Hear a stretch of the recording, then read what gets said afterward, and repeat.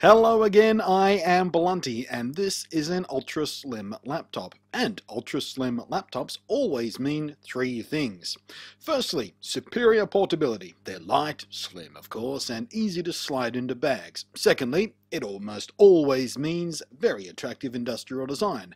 Unlike with women, who I like with a bit more meat on their bones, I like my folding computers to be slim. They look sleek, elegant, modern. And the final commonality of ultra slim laptops is they're crap for gaming on. And that's just logical, isn't it? Because slim means compromising on power, especially when it comes to graphics processing chips. Powerful GPUs are big, power hungry, and need lots of efficient cooling, and that means generous heat sinks and big fans, and all of those things mean thickness. Good PC gaming is chunky, that's just how it is. Well, allow me to introduce you to the gaming laptop that utterly changed my mind on that. This is the Aorus X7, and the guys at Gigabyte threw one at me to check it out. So, firstly, let me show you what it can do. This is Hitman Absolution, a very graphically sophisticated game, very pretty, very complex, lots of lighting effects, lots of characters on the screen at the same time. It does all kinds of pretty things. And the Aorus X7 not only can run it smoothly, but can run it smoothly maxed out. Now, day one with this laptop, I was thinking something this slim can't possibly be a true gaming PC. All of the grand bluster from the marketing materials was surely just that. Bluster to sell these things. So I installed Hitman Absolution and I cranked it up to ultra settings, fully expecting to hit the wall and see things stutter and chunk down and the frame rate to tank the instant I wandered into that Chinese marketplace with all those swarms of people. I was thinking to myself, okay, I'll max it out here and then start dropping various settings down one by one until I find the point where it plays smoothly and that will tell me how powerful this thing is in practical terms. Only problem is I didn't have to do that. I could almost hear the X7 giggling at me, mocking me for my arrogance, smirking at me for my assumptions as it simply chewed right through this pretty game at 1080p at ultra settings. Settings that make my own mid-range gaming laptop from Alienware curl into a ball in the corner and vomit with envy and shame. So, what's the secret here? How do you get so much power in a laptop this skinny? Well, it's pretty simple, but pretty clever.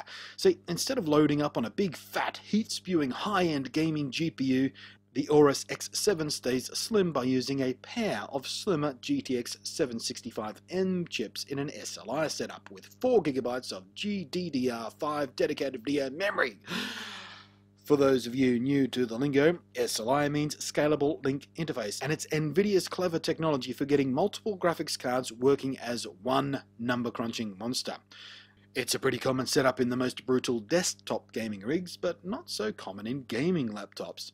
And for those of you intimately familiar with NVIDIA's line, Aorus claim that these dual 765Ms spit out performance on par with a GTX 780M.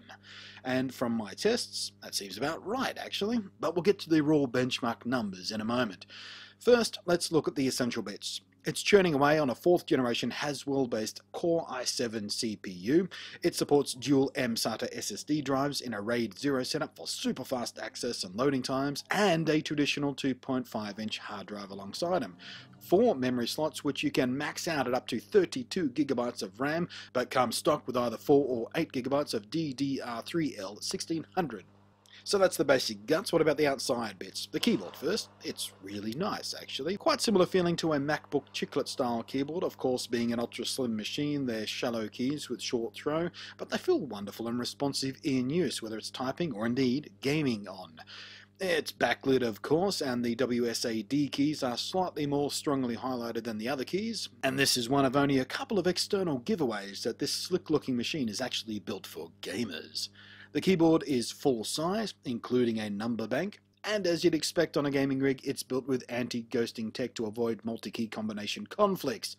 Down the left side, there's a bank of programmable macro keys, and at the top of those, there's a G key which lets you switch between color-coded sets with a tap of your finger. And the software used to organize and set up all of these custom macros is very simple to use. It's easy, logical, very visual, and a complete breeze to set up. The same goes for the command and control software actually. Very easy and logical setup to tweak whatever you need tweaked. And that of course also means fan control. There are three modes here, Stealth, Auto and Turbo and at full speed the fans are noticeably audible of course. but they're not what I'd call loud, certainly not by gaming rig standards anyway. And the pitch of the fan noise isn't that horrible ear-piercing screaming whine either. It's a comparatively pleasant lower pitched and altogether more subtle whirring. So even at top speed, it's easily one of the better sounding high performance rigs I've experienced. And again, that's thanks in large part to the thoughtful, clever thermal design. The heat generating components are all carefully spaced and all tied to a common cooling system with dual fans and four vents. If you max it out and keep it there, things do get warm, but never what I'd call hot to the touch. In fact, I'd go as far to say it was surprisingly cool, even under benchmarking conditions. Around the back there's power in and a pair of USB 2.0 sockets, nice and uncluttered and out of the way for the leave-in type stuff, like your gaming mouse for instance, which of course you will be using because touchpads are garbage for gaming. And the touchpad here is no exception. PC games just aren't meant to be played with touchpads, but for the normal stuff you'll be doing, it is a decent pad. It's slick and smooth and nicely responsive, and of course multi-touch. But all in all, it's pleasant and serviceable, and on a gaming rig, that's all it needs to be.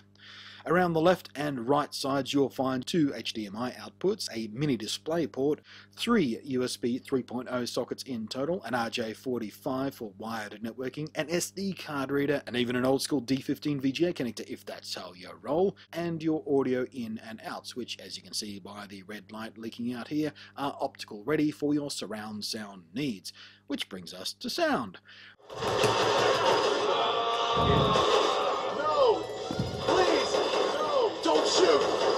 There's a pair of speakers built in, nicely spaced at the outside front edges, and a pair of woofers mounted on the underside. The sound quality from this setup won't outshine even a relatively modest external speaker setup, but it was surprisingly crispy. It had good depth and a pleasant tone. It wasn't superb in the very low end or the highest of the highs, but the mid-range was very well covered and the volume was reasonable. And even in explosion-rich games, it gave a rich, complete sound that I have absolutely no reason to complain about. The screen is a 17-inch 1080p Full HD setup. It has a low reflective matte finish, which muted reflections quite nicely indeed, but without fuzzing up the image as some matte coatings can do. And it has a nippy 8 millisecond response time, which is exactly what you want for gaming. It's reasonably bright and at 72% NTSC color gamut it gives a gratifying rich and tonal image. And it's not the brightest or richest screen you'll find out there. The viewing angles are pretty good, so you won't be fiddling with the angle much. And while at 17 inches a 1080p laptop screen isn't super high res by today's standards, the image is very well defined and nice and crisp. Online gamers will find joy here too, because as nifty as Wi-Fi is, and you do get 802.11ac here, we all know that wired is the fastest, most stable way to go. And on board here is not just your ordinary stock Ethernet controller, but a killer LAN chip, which I've never come across before, but apparently ensures zero packet loss, so that's damn nifty. There is, of course, a webcam built in at the top of the screen, but it's not fantastic. It's just a very generic, middle of the road webcam kind of thing. And as a laptop, it of course has a battery built in, but as a 17 inch gaming laptop rig, that battery won't really amaze you with its long life. That said, battery life isn't atrocious, but it's not what I'd call wonderful. And let's face it, 99.9% of owners, gamers, will only ever unplug it briefly to move it to a different room, so not such a big deal if it doesn't have the best battery life in the world, is it? So, it's mechanically very sound, it looks fantastic, it feels really nice to actually use, and despite being ultra slim, it has good options for internal upgrading of storage and memory, and it kicks a truly surprising amount of ass when it comes to gaming performance, all while still being skinny and easily totable in a backpack, and coming in at 3 kilograms.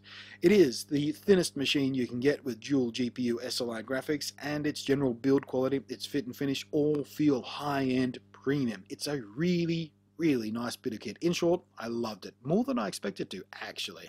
Especially from a new brand. Well, kind of new. I mean, Gigabyte are underneath it all, and those guys have tons of experience in building really nice gaming rigs. But still, I suspect this new brand, Aorus, is a brand worth keeping an eye on.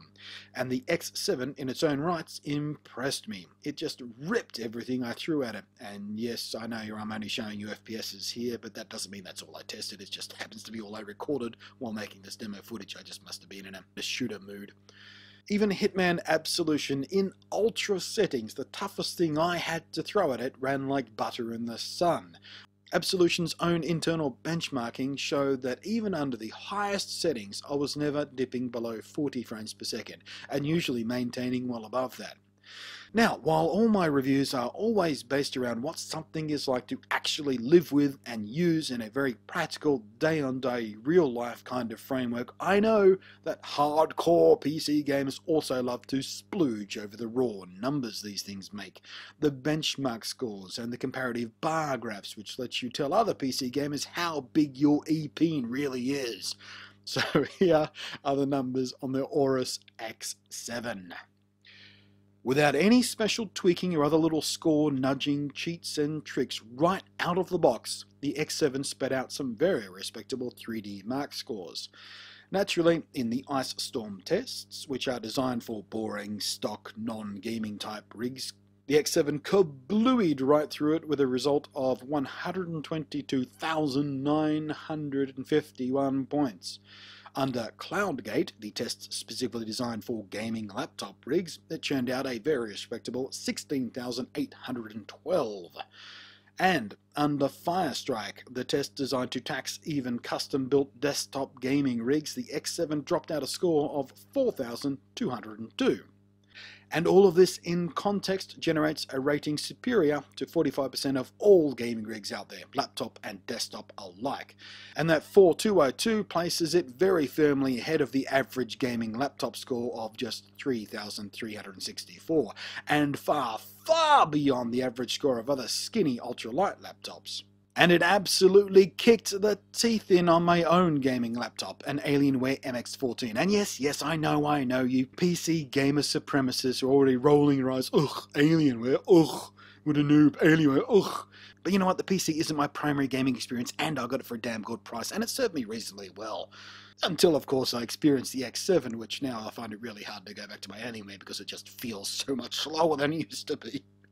Now, price, of course, will vary depending on where you are in the world, so I won't give it here. But a quick Google will churn out what it'll cost you wherever you are and whenever you're watching this. Now, don't expect a super bargain price. This is a high-end gaming rig we're talking about here after all, not some slapped-together generic jobby from Acer or HP or something. But matched up against the competing gaming machines, it is a reasonable price point. But that is your lot on this beastie. Drop a comment and let us know how you think it stacks up bang for buck. And, if you like, throw in your rig's 3DMark scores to see how it all stacks up against those. My MX14 hangs its screen hinge in shame right now. Thanks for watching. I am Blunty, and I will catch you next time.